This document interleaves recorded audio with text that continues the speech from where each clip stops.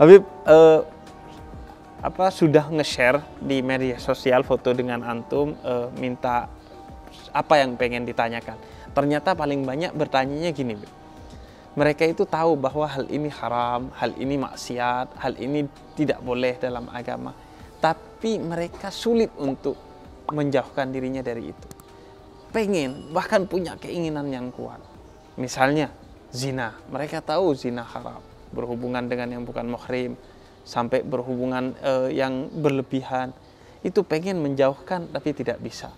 Ghibah, pengen menjauhkan tapi kesulitan untuk menjauhkan dari ghibah apalagi di era media sosial ini apalagi mereka cerita tentang kenikmatannya ghibah malah mereka yang dakwah ke kita kenikmatannya ghibah nah tapi mereka tahu itu dosa. Bahkan mereka tahu bahwa itu dosa besar. Dan mereka punya keinginan yang besar untuk jauh dari itu. Uh, mungkin bisa diberikan ini tips-tips agar mereka bisa apa upaya-upaya untuk menjauhkan diri dari semua kemaksiatan itu. Alhamdulillah. Uh, Rasulullah sallallahu alaihi wasallam beliau bilang la yu'minu ahadukum hatta yuhibba li akhihi ma yuhibbu li nafsihi minal khair. Enggak beriman salah seorang kalian hingga dia mencintai untuk saudaranya sebagaimana dia cinta untuk dirinya sendiri. Dia suka untuk saudaranya sebagaimana dia suka untuk dirinya sendiri. Yang dia anggap uh, apa namanya dirinya enak ya orang juga enak dia kasih berbagi kebaikan tersebut. Yang dia anggap buruk nggak enak sakit ya buat orang lain buat saudaranya juga sakit. Hmm. sehingga dia jaga itu jangan sampai menimpa uh, saudaranya. Nah kemudian juga uh, intinya sih sekarang perlu menjadi mendapatkan sahabat atau kawan atau katakanlah mentor atau guru yang dia duduk bersama dia. Bukan cuma sekedar mentransfer uh, naskah ilmu enggak. Tetapi mentransfer nurnya ilmu cahayanya ilmu uh, dan juga uh, keberkahannya daripada ilmu tersebut. Mencari teman duduk yang baik. Mencari teman duduk yang baik. Nah itu sebenarnya yang utama di situ. Di dalam Sahih Bukhari ada sebenarnya ini ada dua dua hadis. Hadis yang pertama, dalam Sahih Bukhari ada satu orang udah ngebunuh 99 nyawa dari Bani Israel. Hmm. 99 nyawa dia habisi. Datang nanya, datang keinginan mau bertobat, gue mau tobat. Dia tanya, siapa orang paling alim di kampung ini? Ada Ustadz Fulan, disamperin. Saya udah bunuh 99 nyawa. Kalau saya mau tobat masih bisa gak? Kebetulan dia salah Ustadz. Hmm. Lu udah bunuh 99 nyawa mau tobat enak aja. Nggak ada tobat bagimu. Hmm. oh gitu. Ya udah deh lengkapin jadi 100 dibunuh ustadznya jangan dicontoh. Akhirnya udah eh, dalam petualangannya lagi dalam maksiatnya lagi eh, kemudian timbul lagi keinginan saya mau tobat deh jenuh. Sebab kemaksiatan tuh kegundahan di hati. Mau nggak mau. Wah nikmat glamor gemerlap uh, lezat tapi batin yang melakukannya itu merasa kosong, hampa, gundah, stres yang nggak habis-habisnya. Dia melakukan kemaksiatan tersebut, dia kira dia bisa selesai dari stresnya, nggak tahunya tambah stres. Berlipat ganda. Berlipat ganda. Dan itu tanyain kepada semua ini nggak bisa dipungkirin. Hmm. Nggak ada yang bisa ngisi kekosongan itu, melainkan melainkan ya duduk yang kayak begini, hmm. begitu mengkaji yang kayak begini, iktiraf, hal-hal yang semacam ini duduk bersama uh, orang-orang uh, yang dimuliakan oleh Allah Subhanahu wa taala. Dia timbul lagi keinginan, gue mau taubat. Nanya, siapa orang paling paling alim, paling soleh, paling ngerti agama di kampung ini? Bilang ada fulan, disamperin. Ya Syekh Ustaz, kalau saya mau taubat sekarang, ya nih, masih bisa gak? Saya udah bunuh 100 nyawa. Bilang bisa. Bisa nggak ada nggak bisa nah ini perannya ulama hmm. membangkitkan optimisme di masyarakat hmm. jangan bikin orang pesimis aja hmm. jangan nggak ada taubat bagimu lu di neraka udah kelas hmm. nggak hmm. ada harap nggak bangkitkan semangat orang mau balik bisa nggak ada dosa yang nggak bisa diampuni Allah Inna Allah yaghfiru dzunub jami'ah dalam hadis Allah bisa mengampunin semua dosa Eh, tapi dikasih tahu caranya. Ini nanti begini karena pergaulan. Hmm. Nanti hidup di lingkungan yang terkondisikan melakukan kemaksiatan, kezaliman, pembunuhan. Jadi solusinya bagaimana? Cari teman duduk, pindah. Pindah komunitas, pindah teman duduk. Begitu. Pindah tongkrongan. Baik, pindah tongkrongan. Baik, pindah tongkrongan. Akhirnya udah dia keluar dari kampungnya. Niat mau taubat nih, pindah ke kampung solihin. Baru keluar dari kampung, tahu-tahu ajal menjemput, meninggal dia. Hmm. Nasib. Susah emang mau taubat, cobaannya banyak. Iya. Datang malaikat azab, ini yang gue udah tunggu-tunggu dari Hmm. dulu. Udah waktunya mau diseret ke neraka. Datang malaikat rahmat, kan dia niat mau taubat. Nggak tahu, eh, baru niat kan, belum taubat kan. Nah, tapi dia udah keluar dari kampungnya. Ya, tapi kan belum, belum sampai ke kampung sono. Cekcok antara malaikat. Hingga dalam Allah Ta'ala, dalam Sahih Bukhari, diutus malaikat yang lain menengahi. Bilang, begini aja ukur. Dia meninggal sekarang di tengah jalan, ukur lebih dekat ke kampung solihin atau lebih dekat ke kampung asalnya dia, kampung penjahat penyamun. Ya pasti lebih dekat ke kampung penyamun, baru keluar kok. Hitung. Subhanallah, ketika orang mau bertaubat, ya, punya niat baik. Kata Imam Junaid, man fataha ala nafsi baban niyah hasanah fatahullah alaihi sab'in min abwabi taufik. Orang kalau buka buat dirinya satu pintu niat kebaikan, dibukakan 70 pintu taufik yang ngebantu dia ngejalanin niat baiknya. Allah Ta'ala perintahkan kepada bumi, kampungnya penjahat menjauh, kampungnya solehin mendekat. Disuruh mendekat. Begitu diukur, lebih dekat satu jengkal ke kampungnya solehin. Allah memfasilitasi orang yang mau bikin baik difasilitasin oleh Allah Taala. Yang penting lu niat dulu, gue mau bener. Iya. Jangan berpikiran nggak bakalan bisa, nggak bakalan bisa, nggak bakalan bisa. Baik ini datang dari orang lain, dari ustadz, dari lingkungan, atau dari diri sendiri. Jangan bilang nggak bisa, bisa kok, bisa kok. Sahabatnya Rasul Shallallahu Alaihi Wasallam dulunya musyrikin, ya kan? Hingga mereka menjadi orang-orang mulia yang agung di sisi Allah Taala. Derajat wali yang paling tinggi nggak bisa mencapai derajat yang paling rendah dari sahabatnya Rasul Shallallahu Alaihi Wasallam. Orang yang paling mulia. Oh, berapa banyak ulama yang dulunya orang eh, apa namanya jauh dari Allah berubah menjadi wali besar. Bisa aja anugerah Allah Taala terbuka buat siapa pun. Nabi Musa sebelum jadi nabi udah ngebunuh satu orang dan hampir membunuh orang yang kedua. Nah, Turidu an taqtulani kama qatalta nafsan bil bil ams kata di dalam Al-Qur'an surat Qasas tersebut. Maka terbuka pintu taubat buat siapa pun.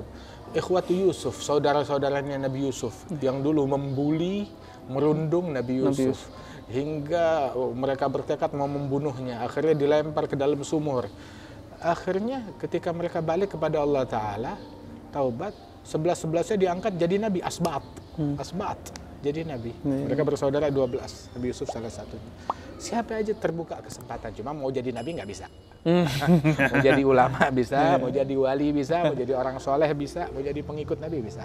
Nah, jadi Nabi udah nggak ada harapan, jadi jangan ngawur, jangan ikut-ikut. Nah terus, jangan pesimis. Lu bisa, mau jadi benar, bisa entar entar begini. Entar Allah yang bantuin. Entar Allah yang bantuin. Sudah. Nah terus hadis yang kedua. Ada satu orang datang. Nabi lagi majelis tahu-tahu bilang interupsi nih Hmm, terus sih. ya Rasulullah. Izin. Izin apa?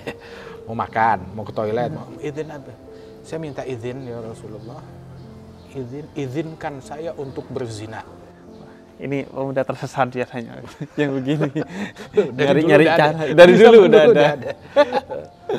Nabi dengar begitu, bukan diusir.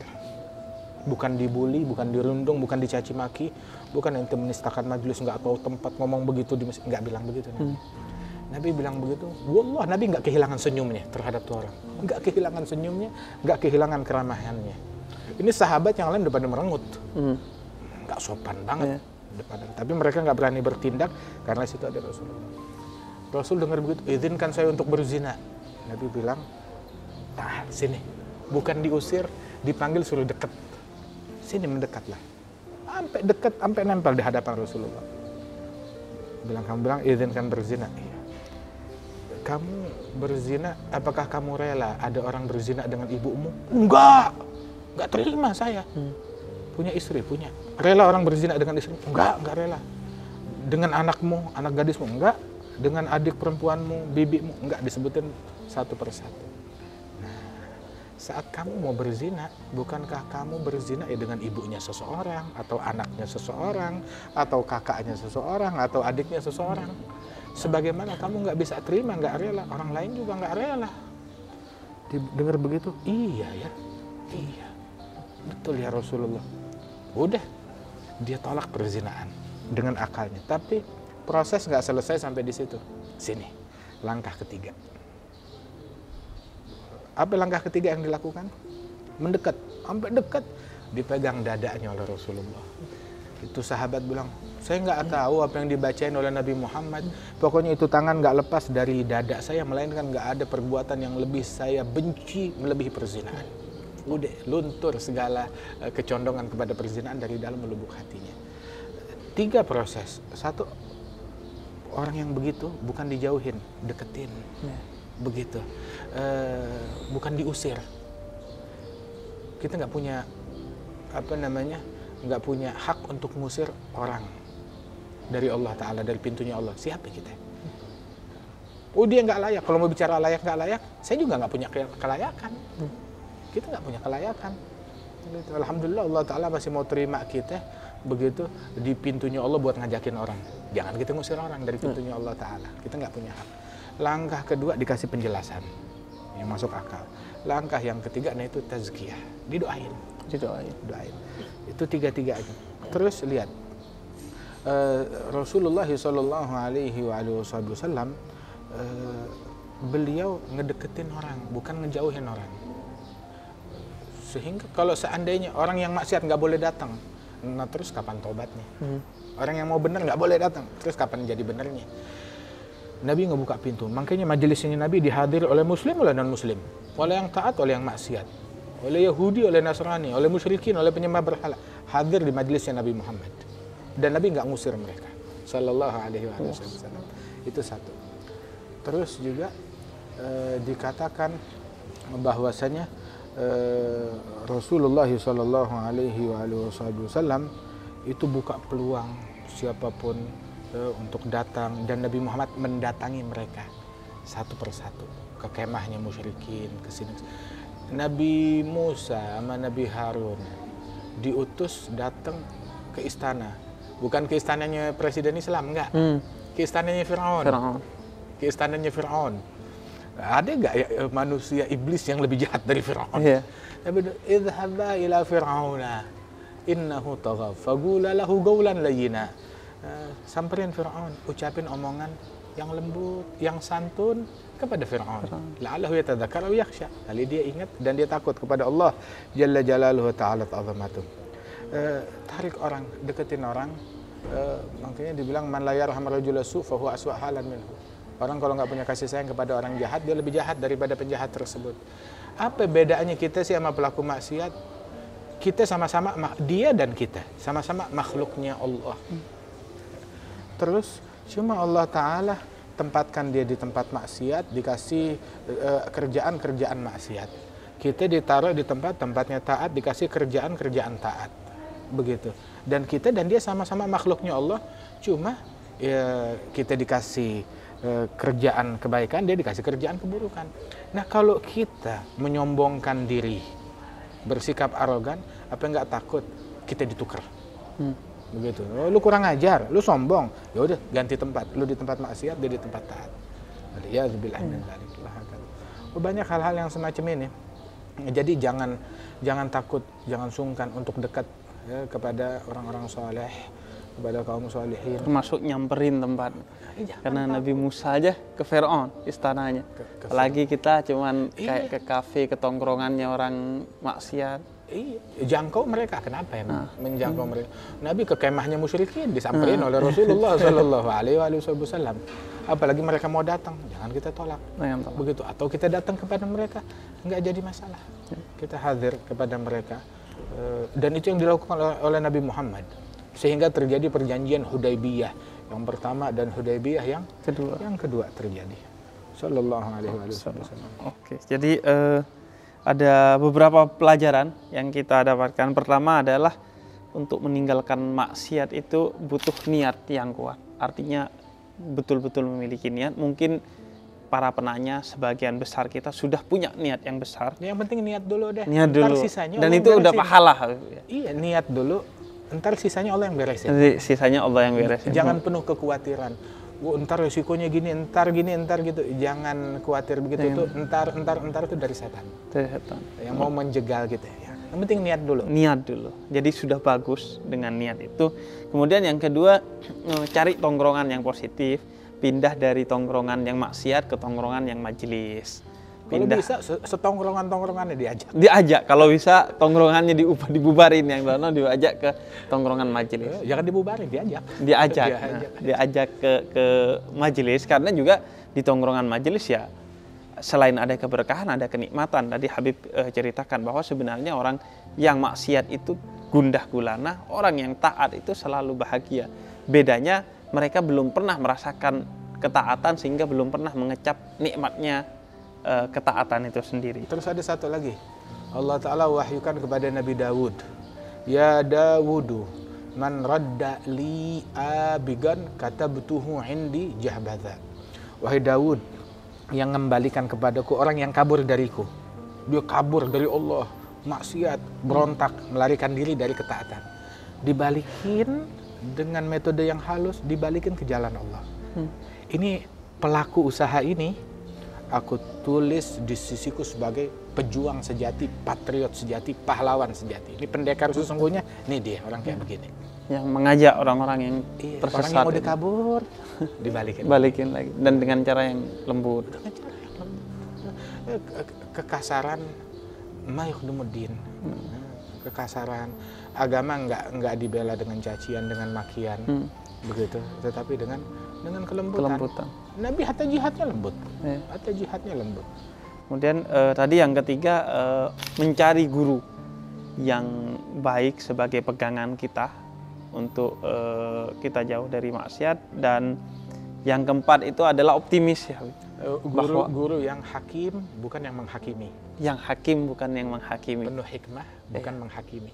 Guru yang benci kemaksiatan tapi tidak benci orang maksiat. Dan yang keempat optimis tadi penting sekali. Optimis bahwa Allah akan selalu membuka jalannya. Jangan pesimis karena tidak ada pintu taubat tertutup kecuali oleh keputusasaan. Allah tidak pernah menutup. Yang menutup itu ya kalau nggak dajjal, setan, iblis yang pengen manusia nggak bertobat. Dan yang terakhir tadi eh, Habib bilang eh, tazkiyah atau doa perbanyak doa agar Allah bantu jalan kita dalam pertobatan, dalam penjauhan kita dari kemaksiatan. Terima kasih Habib Masya Allah, waktunya. Semoga eh, manfaat buat teman-teman. Silahkan dilakukan apa yang menjadi eh, tips ini. Semoga eh, segera kita bisa terjauhkan dari maksiat. Amin ya rabbal alamin. Wassalamualaikum warahmatullahi wabarakatuh. Assalamualaikum warahmatullahi wabarakatuh.